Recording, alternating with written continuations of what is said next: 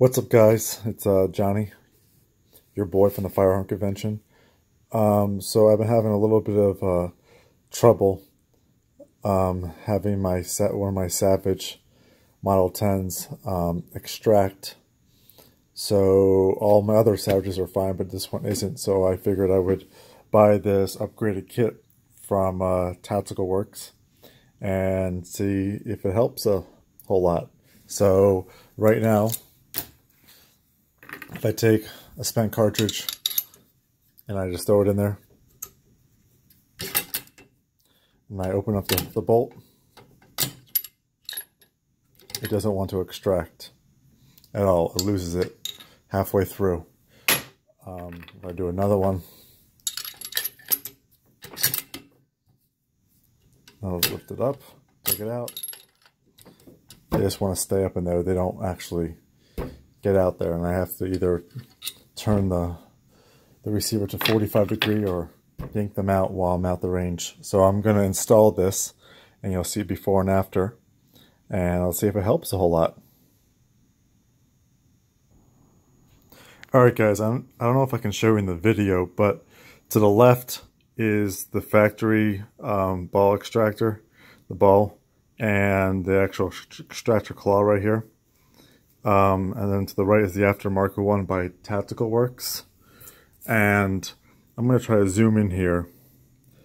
So here, you can tell the difference between the ball is a lot smaller than the Tactical Works ball right there.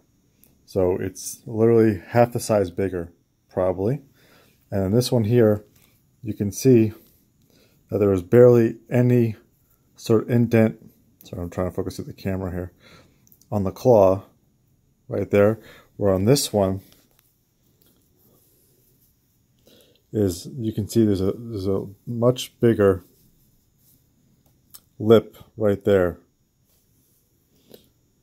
to grab the case. So that's definitely a difference from the factory to the aftermarket. Um, but I'm going to put the other one in right now with the same spring and then uh, we'll test it. Just wanted to show you guys that.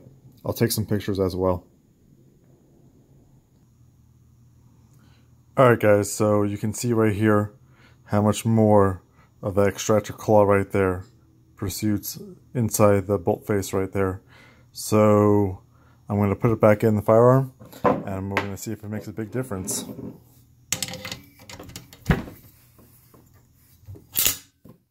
Alright. Okay. So we are all good. It's still in there. Didn't go flying across the room.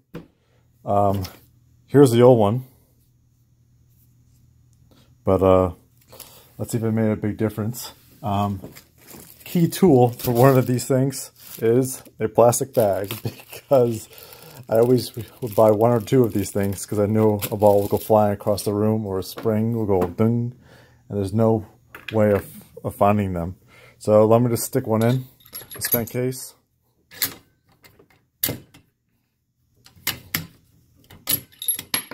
Boom.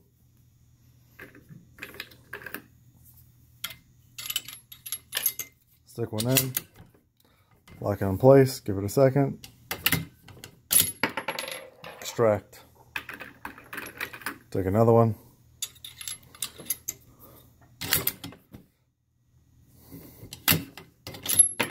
Another six Creedmoor case out.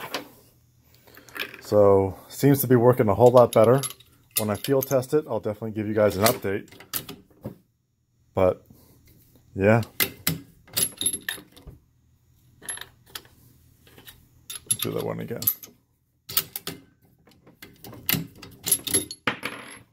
Whole lot better than before. So six Creedmoor. Replace the old extractor and ball from Tactical Works. Check them out. I think the kit only cost me like 25 bucks. So it wasn't a whole big deal. And shipping was like, I don't know, maybe it was free or it was a dollar or so. But other than that, if uh, you guys are having problems with your extractors, um, I would definitely, you know, for your savages, I would definitely um, give Tactical Works a shot. And uh, stay tuned for more field update. All right, guys. Thanks for watching.